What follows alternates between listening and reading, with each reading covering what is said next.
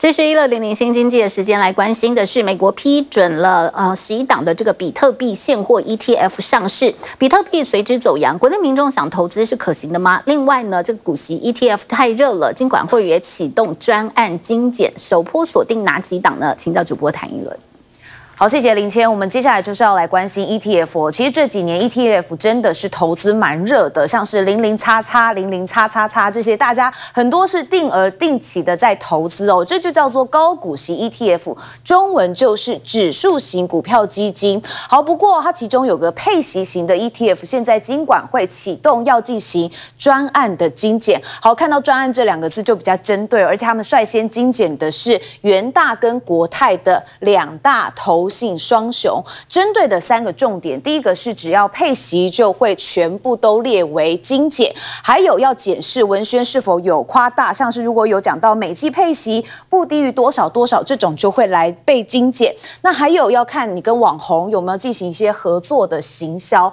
好，那这 ETF 到底投资人有多喜欢呢？美国这边其实又出现了另外一种 ETF，叫做比特币现货 ETF，而且这个是美国证管会核准的。十一档，它现在要在美国上市了，在十一号开始进行交易。那不止比特币，还有以太币的 ETF。那美国这边是说五月就会审核是否可以上市。好，如果想要在台湾买这样子的 ETF，能不能呢？其实金管会现在是认定说，比特币不是有价证券，投信业者没有办法发行，所以如果有国外的业者要来台湾卖这样子的 ETF，是违法的。好，那金管会的政棋局就说，台湾是否要跟进？其实现在还需要再进行研究的评估。林谦，另外，PC 出货量终于在去年第四季回升了，结束连八季的萎缩颓势。代工厂看好 PC 市场，正式迎来春宴。再交给一轮。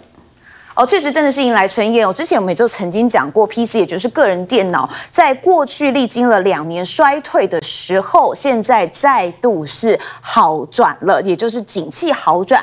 我们来看，这是研调机构所做出来的这个数据，PC 出货量去年第四季回升，所以终结了连八季的衰退。那市场调整之后触底，触底之后当然就是反弹嘛。那库存上季就回归了正常，供需终于是平衡了。好，我们就来看上季的。市占率表现，各品牌状况是如何？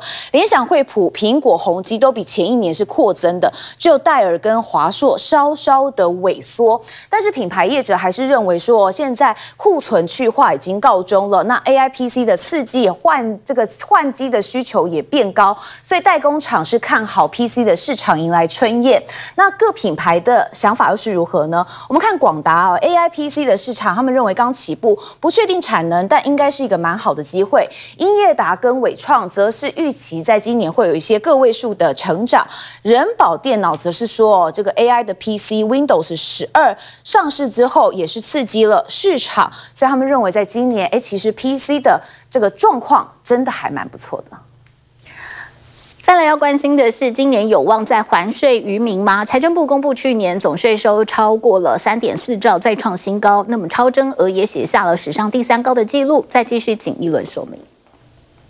好，确实大家都很关心还税于民这件事情。不过，我们先来看看，在去年的税收到底超增了多少呢？其实总税收我们是有三点四兆元，那超增的是三千六百一十七亿元。那如果加上了递延入账的税收的话，就来到了三千九百一十亿元，是史上的第三高。好，那大家就好奇说，到底从哪来的这些钱呢？其实创下新高的，包含像是关税、银所税、牌照税、营业。税、房屋税、牌照税、印花税，有七个项目都创下了一个税收的新高。那表现比较暗淡的就是土增税跟烟酒税，没有达到预期的目标。所以主要的四大税收的益助哦，就来自第一个是综所税啊，就是我们的薪资还有股利所得的增加；还有一个就是营业税哦，民间消费蛮劲扬的，所以这代表疫后复苏了，那也升息还有扩大了利差。